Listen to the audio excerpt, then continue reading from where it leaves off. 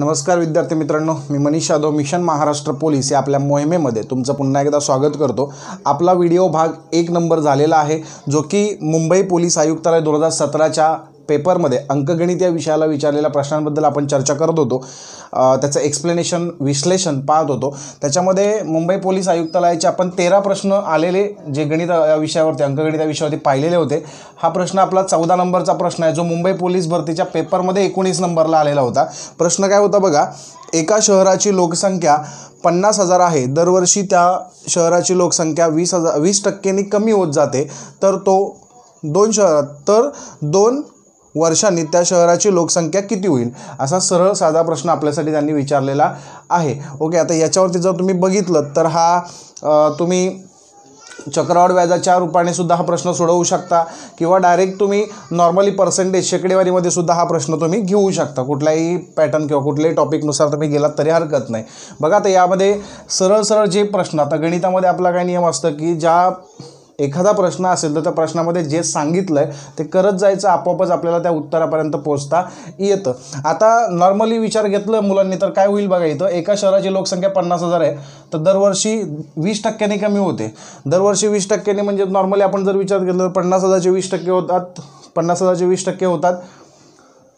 दहा हजार दोन वर्ष झाले म्हणजे वीस हजार मायनस केलं तर तीस हजार आन्सर देऊन टाकेल एखादा विद्यार्थी. ठीक आहे? पण ते डायरेक्ट त्याचं काय होऊन जाईल? चुकेल. समजतंय म्हणून एक्झॅक्टली त्याचं आपल्याला उत्तर काढायचं असेल तर काय करावं लागणार आहे?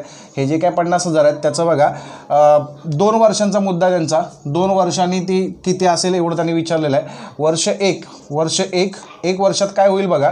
पन्नास हजाराचे किती होतील? म्हणजे आता दोन हजार वीस सुरू आहे समजा तर एकवीसमध्ये त्या गावाची किंवा ती जी काही शहर आहे त्याची लोकसंख्या कसं असणार आहे? वीस टक्क्यांनी कमी झालेले असणार आहे. मग वीस टक्के कमी करून घ्या. वीस टक्के किती येतात याचे बघा. हे दोन शून्य कटले हे दोन दोन शून्य कटले. पाचशेच्या वीस नोटा. म्हणजे थोडक्यात पाच दोने दहा आणि हे वरचे दोन ने हा एक शून्य. तीन शून्य देऊन टाका. म्हणजे दहा हजार लोकसंख्या ही कमी झालेली असेल. म्हणजेच पन्नासची किती झालेली असेल? पहिल्या वर्षी पन्नासची लोकसंख्या किती असणार आहे? चाळीस हजार असणार आहे. म्हणजे दोन हजार एकवीसमध्ये त्या शहराची लोकसंख्या चाळीस हजार असेल. आता दोन हजार वीसमध्ये पन्नास हजार आहे. तर मला वाटतं हम दो हमारे दो हा प्रकल्प सुरू केलेला असावा. समजताय का? लोकसंख्या पॉप्युलेशन कंट्रोलमध्ये आणण्याचा प्रयत्न असावा. ठीक आहे? इथं चाळीस हजार झालेले दिसतील आपल्याला दोन हजार एकवीसमध्ये त्यांना दोन वर्षांनी म्हणजे दोन हजार बावीसचा मुद्दा आहे त्यांचा दोन हजार बावीससाठी म्हणजे दोन वर्षांनी त्यांची लोकसंख्या किती असेल? आता चाळीस हजारचे पुन्हा त्या वर्षीसुद्धा किती टक्के होणार? वीस टक्के घट होणार. दरवर्षी वीस टक्के घट होते. दुसऱ्या वर्षीही वीस टक्के घट होणार. आता इथं काय होईल? दोन शून्य कटले दोन शून्य कटले. राहिलं का इकडे? चार दोने आठ आणि हे दोन शून्य ना हा एक शून्य तीन शून्य. अजून आठ हजार कमी होईल. म्हणजे चाळीस हजारमधून आठ हजार कमी केले तर किती येणार उत्तर तुमचं? बत्तीस हजार. आणि ही बत्तीस हजार लोकसंख्या ऑप्शन क्रमांक एक तुमचा बरोबर देऊन जातो. आता जर का तुम्ही इथं तीस हजार असं लिहिलं डायरेक्ट पर्सेंटेजचा विचार केला तर तुम्हाला सरळ व्याजाने तसं आलं असतं पण ते चुकणार. समजतंय? म्हणून तुम्हाला काय विचार करायचा? आहे चक्रवाढ व्याजाचा विचार करायचा आहे. मग तुम्हाला ते बरोबर येऊ शकतं. किंवा अशा पद्धतीनं जरी काढलं पहिल्या वर्षी किती असेल दुसऱ्या वर्षी किती असेल तरीसुद्धा चालेल ठीक आहे? म्हणजे हा प्रश्न तुमचा चौदावा प्रश्न होता आपला उत्तर काय आलं? बत्तीस हजार इतकी लोकसंख्या असेल. चला नेक्स्ट क्वेश्चन बघूयात. बघा नेक्स्ट क्वेश्चन बघतो आपण. क्वेश्चन नंबर पंधरावा आपला आणि मुंबई पोलीसमध्ये आलेला हा विसावा नंबरचा प्रश्न पथ प्रश्नपत्रिकेतला. ठीक आहे? प्रश्न बघा एका वर्तुळाचे क्षेत्रफळ एकशे चोपन्न सेंटीमीटर आहे तर सदर वर्तुळाचा परीख किती? आता क्षेत्रफळ नावाचा आपला जो टॉपिक आहे गणितामध्ये त्या टॉपिकवरचा हा आपला प्रश्न आहे. आता यापूर्वीच आपण याच प्रश्नपत्रिकेमध्ये प्रश्न क्रमांक सतरा प्रश्नपत्रिकेतला प्रश्न क्रमांक सतरा नंबरचा प्रश्न आपण चौरसावरती पाहिलेला होता. आता इथं तुम्हाला चौरस न विचारता त्यांनी काय विचारलेलं? आहे वर्तुळ विचारलं. तर वर्तुळाचा विचार तुम्हाला करायचा. वर्तुळाचं क्षेत्रफळ दिलेलं आहे आणि परीख काढायला सांगितलं. तर वर्तुळाचं परीख परीख काढण्यासाठी तुम्हाला फॉर्म्युला कोणता आहे? वर्तुळाचे परीख वर्तुळाचे वर्तुळाचे परीख बरोबर टू पाय आर. टू पाय आर. पण आपल्याकडे आर म्हणजेच त्रिज्या आहे का? पाय आपल्याकडे ठीक आहे पा बावीस सात मानतो आपण किंवा तीन पॉईंट चौदा मानतो. पण आर म्हणजेच त्रिज्या आपल्याकडे आहे का? त्रिज्या आपल्याकडे नाही. पण आपल्याकडे क्षेत्रफळ आहे एक्स्ट्राचं मग याचा काहीतरी वापर होणार आहे की नाही या प्रश्नामध्ये? हा विचार केला पाहिजे आपण वर्तुळाचे वर्तुळाचे क्षेत्रफळ. वर्तुळाचे क्षेत्रफळ काय आहे ते बघा. वर्तुळाचे क्षेत्रफळ. वर्तुळाचे क्षेत्रफळ काय येणार आहे ते आपण बघून घेणार आहे. ठीक आहे? वर्तुळाचे क्षेत्रफळाचं सूत्र काय आपला?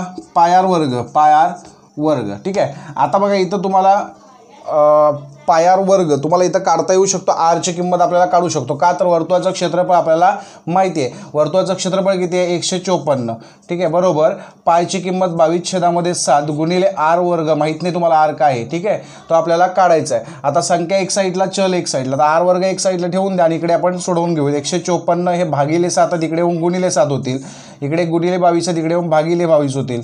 आर वर्ग. ठीक आहे? आता अशा पद्धतीनं आपल्याला हे सोडवावं लागणार आहे. इथं तुम्ही डायरेक्ट सोडवलं तरी हरकत नाही किंवा अकराच्या पाड्यामध्ये जरी घेतलं बघा इथं पा अकराची कसोटी लागते चार आणि एक पाच. पाच दोन पाच वेळा शून्य म्हणजे अकराची कसोटी लागणार. अकरा दोन्ही बावीस अकरा एके अकरा. चार उरले अकरा चौक चव्वेचाळीस म्हणजे आवारचा चार. अकरा चौक चव्वेचाळीस. बे के बे बे साते चौदा. उरलं काय? सात गुणिले सात. म्हणजेच एकोणपन्नास बरोबर आर वर्ग. आता एकोणपन्नास बरोबर आर वर्ग दोन्ही बाजूंचा वर्गमूळ काढला तर आर बरोबर काय झालं? सात. म्हणजेच थोडक्यात त्रिज्या किती आली तुमची? त्रिज्या आली आपली सात. आता या फॉर्म्युलाचा आपण विचार करू शकतो बघा जे आपल्याला एक्झॅक्टली काढायला सांगितलेलं आहे वर्तुळाचं परीघ काढायला सांगितलेलं आहे. आता परीघासाठी आपल्याला आर सुद्धा मिळालेलं आहे. त्याच्यामध्ये तुम्ही काढू शकता दोन बावीसची पायची किंमत काय आहे? बावीस छेदामध्ये सात गुणिले आर किती आला आपला आता? सात. ठीक आहे. सातला सात कटले. राहिलं काय बावीस दुने चव्वेचाळीस. हे चव्वेचाळीस सेंटीमीटर हे झालं तुमचं आत्ताचं उत्तर. तो ऑप्शन क्रमांक एक तुमचा बरोबर होता. बघा याला इथं आर काढलं तरी आर पण तुम्हाला ऑप्शनमध्ये दिसतोय. घाई गडबडीत तुम्ही इथं जरी केलं तर ते चुकून जाणार समजतंय? डायरेक्ट आपल्याला इथं हे जे आपलं राईट आन्सर आहे ते आपल्याला पुढची स्टेप घ्यायची आहे म्हणून प्रश्नामध्ये. त्या प्रश्नामध्ये सुद्धा प्रश्न क्रमांक सतरामध्ये आपण बघत असताना सुद्धा हाच मुद्दा बघितलेला होता. त्याच्यामुळे गांभीर्यानं अशा प्रश्नाकडे लक्ष द्यायचं सिली मिस्टेक होण्याचे चान्सेस जास्त असतात. म्हणून प्रश्नाचं उत्तर देण्याच्या पूर्वी एक गोष्ट बघायची तरच्या नंतर वाक्य वाचून घ्यायचं. सदर वर्तुळाचा परीक किती? परीघ काढलाय का आपण? हे परीक आपलं होतं का नाही? आर काढले. रॅडियस. रॅडियस म्हणजे त्रिज्या. समजतं ती काढलेली होती. परीक काढला आपण आता इथे. किती आला आपला? चव्वेचाळीस सेंटीमीटर. मग त्याचं ते उत्तर आपण देऊ शकतो. बरोबर उत्तर आपलं येईल. ठीक आहे? नेक्स्ट क्वेश्चन बघा नेक्स्ट क्वेश्चन आपला काय आहे? तीन मुलांच्या वयांची बेरीज एकवीस वर्ष असून त्यांचे वयाचे गुणोत्तर एकाच दोनात चार आहे. तर मधल्या मुलाचे वय किती? मधल्या मुलाचे वय किती? त्याने काय ऑप्शन दिलेले आहेत चार आपल्यासाठी. तीन वर्ष पाच वर्ष सहा वर्ष नऊ वर्ष.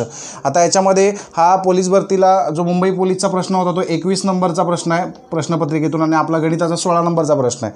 ठीक आहे? जे पंचवीस प्रश्न आपल्याला विचारले गेले त्यापैकी सोळा नंबरचा हा प्रश्न आहे आपल्यासमोर. बघा आता याच्यामध्ये तीन मुलांच्या वयाची बेरीज एकवीस वर्ष त्यांनी म्हटलेलं आहे आणि त्यांच्या वयाचं गुणोत्तर दिलेलं आहे. गुणोत्तर प्रमाण नावाचा जे आपलं गणिताचा टॉपिक आहे त्याच्यातला हा बेस लेवलचा टाईप आहे. टाईप नंबर एकमध्येच आपण येतो याला. बघा आता याच्यामध्ये जे गुणोत्तर असतं ते मोजून घ्यायचं असतं नक्की त्याची बेरीज करायची असते. किती गुणोत्तरांची बेरीज होते? एक अधिक दोन अधिक तीन. त्यांची बेरीज होते सहा. ठीक आहे? आणि एकूण जी बेरीज दिली तिला भागायचं. म्हणजे एक भागाचा एका तुकड्याचं आपल्याला किंमत समजते. आता एकवीस भागिले किती आहे? हे सहा. सॉरी सात आहे. त्याची बेरीज किती होते?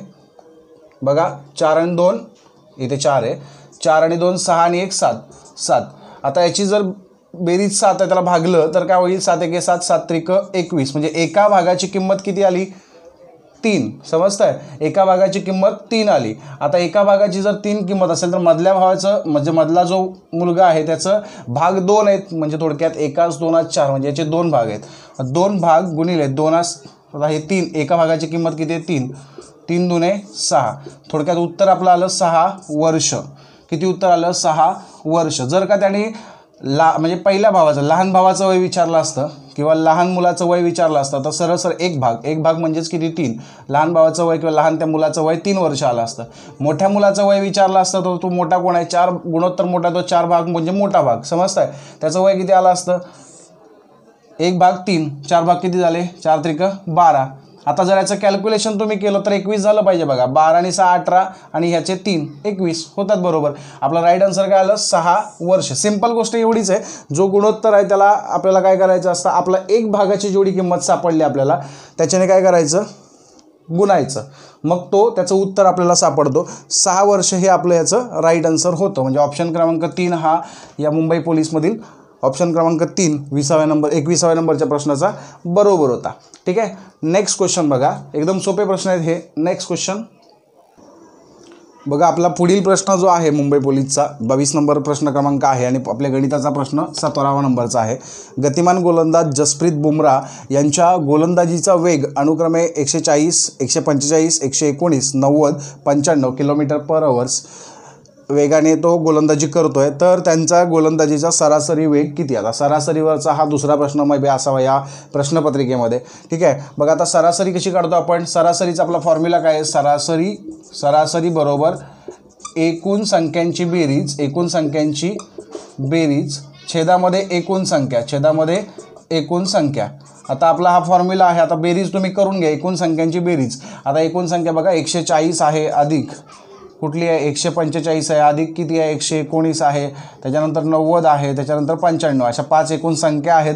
त्यांची बेरीज करून घेतली तर आपल्या लक्षात येईल. बघा पटापट पटापट. पाच आणि नऊ चौदा. चौदा आणि नऊ. नऊ पाच चौदा आणि नऊ. चौदा आणि पाच एकोणीस. एकोणीसशे नऊ. हा चाराला एक. चार आणि चार आठ आणि एक नऊ आणि एक दहा. दहा आणि नऊ एकोणीस. एकोणीस आणि नऊ अडतीस. अडतीसशे आठ. हात चालवले तीन. हे तीन आणि हे तीन. सहा. सहाशे एकोणनव्वद. ठीक आहे?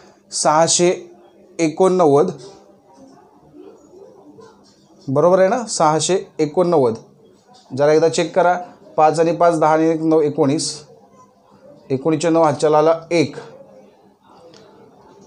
चार आणि चार आठ आणि एक नऊ दहा दहा एकोणीस एकोणीस आणि अठ्ठावीस. अठ्ठावीस हातची इकडे दोनच येणार. ठीक आहे? म्हणजे किती आले? पाचशे एकोणनव्वद. पाचशे एकोणनव्वद झाली त्याची बेरीज. ठीक आहे? पाचशे एकोणनव्वद झाली बेरीज एकूण संख्या किती आहेत? पाच. आता याचा जर तुम्ही भाग घालवला तर तुम्हाला सरासरी वेग सापडणार. पाच एके पाच पाच एके पाच. इथं भाग जाईल पाच एके पाच. उरले किती? तीन. तीनावरती वरचे नऊ झाले एकोणचाळीस. पाच सक तीस पाच साता पाचा साता पस्तीस. पाचा साता पस्तीस उरले चार. चारावरती मनाने शून्य घेतला म्हणून पॉईंट दिला. पंचाअठ्ठेचाळीस म्हणजे एकशे सतरा पॉईंट आठ हे आपलं उत्तर आलं. ऑप्शन क्रमांक एक हा त्यांचा बरोबर उत्तर होता. अतिशय सोपे सोपे प्रश्न आपल्याला पोलीस भरतीमध्ये विचारले जातात यावरून आपल्याला सिद्ध होतं. समजतं आहे आपण व्हिडिओ नंबर एक पाहिला नसेल तर पाहून घ्या. त्याच्यामध्ये सुद्धा पोलीस भरतीचे जवळजवळ आपण भाग एकमध्ये तेरा प्रश्न बघितलेले होते आणि भाग दोनमध्ये आपण बारा प्रश्न बघतो म्हणजे टोटल पंचवीस प्रश्न हे मुंबई पोलीस आयुक्तालयाला दोन हजार सतराला विचारले गेलेले होते. त्या प्रश्नांचं आपण विश्लेषण घेतो आहे ठीक आहे? हे झालं आपलं या प्रश्नाचं विश्लेषण एकशे सतरा पॉईंट आठ हे त्याचं राईट आन्सर होतं. आता गणित या विषयामध्ये प्रत्येक टॉपिकमध्ये अतिशय डीपली खोलवर आता आपण बऱ्यापैकी स्पीडमध्ये प्रश्नांची उत्तरं बघतो आहे अतिशय डीपली जाऊन याच्यामध्ये शिकवण्याचं काम आपण आपल्या व्हिडिओ लेक्चरमध्ये करतो ते व्हिडिओ लेक्चर तुम्हाला आपल्या ॲपमध्ये ॲप्लिकेशनमध्ये स्वराज्य करिअर अकॅडमी नावाचं जे आपलं ॲप्लिकेशन आहे त्याच्यामध्ये तुम्हाला ते मिळू शकतं. त्याची लिंक डिस्क्रिप्शनमध्ये बघायची. आता त्याच्यामध्ये ॲप डाउनलोड केल्यानंतर तुम्हाला जे आपले गणिताचे व्हिडिओ आहेत मराठीचे व्हिडिओ आहेत किंवा इव्हन सगळ्या विषयांचे जे व्हिडिओ आहेत ते तुम्हाला उपलब्ध होऊ शकतात ठीक आहे? बघा आता ह्या अशा पद्धतीनं आपण हे सतरा नंबरचा प्रश्न बघितलेला आहे. प्रश्न क्रमांक अठरावा बघूयात. ओके आता बघा आपला प्रश्न आहे अठरावा क्रमांकाचा प्रश्न आहे पोलीस भरतीतला तेवीस नंबरचा हा जो प्रश्नपत्रिकेतला क्रमांक आहे तो. ठीक आहे आता या प्रश्नामध्ये बघा हा प्रश्न संकीर्ण पोलीस भरतीचा जो मुद्दा असतो संकीर्ण गणित त्याच्यातला हा प्रश्न आहे. एका संख्येच्या पन्नास टक्केमधून चाळीस वजा केले तर साठ बाकी राहतात तर ती संख्या कोणती? आता तुम्हाला ती संख्या माहिती आहे का? माहीत नसेल तर आपण काय करतो? त्याला एक्स मानतो ठीक आहे? आता माहीत नाही आपल्याला संख्या कोणती आहे तिला आपण काय केलं? एक्स मानलं ठीक आहे? पुढचं काय होतं बघा? एक्स मानली एक्स मानली म्हटल्यावर आता पुढे बघा. संख्येच्या चाचीच्या आलं की गुणाकार घ्यायचं. त्या एक्सच्या पन्नास टक्के पन्नास टक्के लिहिताना कसे आपण लिहितो? हे असे लिहितो. पन्नास टक्के मधून चाळीस वजा केले. म्हणजे याच्यातून त्याचे चाळीस वजा केले तर उरतात किती? साठ. आता ही मांडणी तुम्हाला जमली पाहिजे. एकदा का ही मांडणी जमली आपल्याला तर बाकीच्या प्रश्नांची उत्तरं आपल्याला पटकन काढता येतात. आपल्याला ते फक्त सॉल्व करायचं आहे. कशा पद्धतीनं बघा आता इथं तुम्ही सोडवून घेतलं तरी चालेल किंवा डायरेक्ट कट करून घेतलं तरी चालेल. पन्नास एक पन्नास पन्नास दोन शंभर म्हणजे एकशे दोन. एक्स गुणिले एकशे दोन हे वजा चाळीस तिकडे जाऊन अधिक चाळीस होतील. म्हणजे साठ अधिक चाळीस. साठ अधिक चाळीस किती झाले? शंभर. ठीक आहे? आता हे गुणिले दोन आहेत तिकडे जाऊन भागिले दोन होणार. सॉरी भागिले दोन आहे तिकडे जाऊन गुणिले दोन होणार. शंभर गुणिले दोन किती झाले? दोनशे. आणि एक्स गुणिले एक म्हणजेच एक्स एक्स बरोबर दोनशे. थोडक्यात तुमची ती संख्या किती असणार आहे? दोनशे इतकी असणार आहे. सरळ सरळ पटकन आपल्याला प्रश्नाचं उत्तर सापडलं. ठीक आहे? नेक्स्ट क्वेश्चन बघा आपला. बघा नेक्स्ट क्वेश्चन बघा. चोवीस नंबरचा प्रश्न आहे पोलीस भरतीच्या आपल्या मुंबई पोलीस पेपरमध्ये. आणि एकोणीस नंबरचा आपला गणितावरची प्रश्न आहे. साडेचारशे मीटर लांबीची रेल्वे म्हणजे लांबी जी रेल्वेची आहे ती साडेचारशे मीटर आहे. तर बोगद्यातून नव्वद किलोमीटर पर आवर वेगाने जाते. एक मिनिट बारा सेकंद लागतात. म्हणजे थोडक्यात बहात्तर सेकंदाचा विचार केला तर बहात्तर सेकंद लागतात. तर ती बोगदा ओलांडते. तर त्या बोगद्याची लांबी किती असं आपल्याला विचारलं. आपला एक फॉर्म्युला याच्यामध्ये तुम्हाला माहिती असणारा अंतर बरोबर वेळ गुणिले वेग किंवा वेग गुणिले वेळ असं काही लिहिलं तरी चालेल. उलटं बालटं ठीक आहे? आता अंतर तुम्हाला माहिती आहे. कुठलं? साडेचारशे मीटर हे तुम्हाला ट्रेनची लांबी माहिती आहे. बोगद्याची माहिती आहे का? हे एकत्र पकडायचं असतं. ठीक आहे? बोगद्याची तुम्हाला माहीत नाही. आपण त्याला एक्स पकडलं. वेळ गुणिले वेग आपल्याकडे आहे. वेळ बहात्तर सेकंद आहेत आपल्याकडे बहात्तर सेकंद गुणिले वेग किती आहे तुमचा? नव्वद किलोमीटर पर आवर आहे बरोबर? आता इकडे बघा पर आवर आहे आणि इकडे किलोमीटर आहे आणि इकडे हा सेकंद आहे. एकक सारखे आहेत का? नाही इकडं आवर्स आहे इकडं सेकंद आहे समजतंय का? म्हणून आपल्याला मीटर पर सेकंडमध्ये कन्वर्ट करावं लागतं. म्हणून मग काय करतात? पाच पाच छेदामध्ये अठरा घ्यायचं. बहात्तर गुणिले नव्वद गुणिले पाच छेदामध्ये अठरा. आता पाच छेदामध्ये अठरा कुठून आणले ते लक्षात आलं का तुमच्या? मीटर म्हणजे किलोमीटर पर आवरला मीटर पर सेकंदमध्ये कन्वर्ट करत असताना पाच छेदामध्ये अठरा कन्सिडर केलं जातं. ठीक आहे? ते आपण टॉपिक शिकत असताना एक्सप्लेन प्रॉपर केलेलं आहे. ते तुम्ही समजून घ्यायचं. ठीक आहे? अठरा एके अठरा अठरा पंचे नव्वद. क्लिअर म्हणजे राहिलं काय? बहात्तर गुणिले पाचा पाचा पंचवीस. पंचवीस गुणिले बहात्तर. पंचवीस गुणे पन्नासचे शून्य. हातच्या आले पाच. पंचवीस साता. एकशे पंच्याहत्तर. बरोबर? पंचवीस सक दीडशे पंचवीस आता एकशे पंच्याहत्तर आणि हे पाच एकशे ऐंशी. थोडक्यात अठराशे मीटर याची टोटल झाली बरं का. अठराशे मीटर टोटल झाली. इकडचं आपलं आहे ते सुरूच आहे असं. चारशे पन्नास मीटर प्लस एक्स आता हे प्लस आहेच तिकडे जाऊन काय होतं मायनस होतील. म्हणून तुम्हाला काय करायला लागणार आहे? अठराशे मायनस चारशे पन्नास. म्हणजे थोडक्यात तेराशे पन्नास तुमचं काय आलं? उत्तर आलं. तर तेराशे पन्नास हे तुमचं ऑप्शन क्रमांक दोन बरोबर होतं. अशा पद्धतीनं आपल्याला गणिताचे सगळे जे आपले प्रश्न आहेत ते आपल्याला बघायचे आहेत. हा गणिता विषय थोडासा मोठा असल्याकारण त्याला वेळ लागतो आपल्याला. ठीक आहे? दोन व्हिडिओमध्ये आपण जवळपास एकोणीस प्रश्न बघितले फक्त सहा प्रश्न शिल्लक राहील त्याच्यासाठी आपला तिसरा व्हिडिओ तुम्ही नक्की बघा. ठीक आहे? धन्यवाद.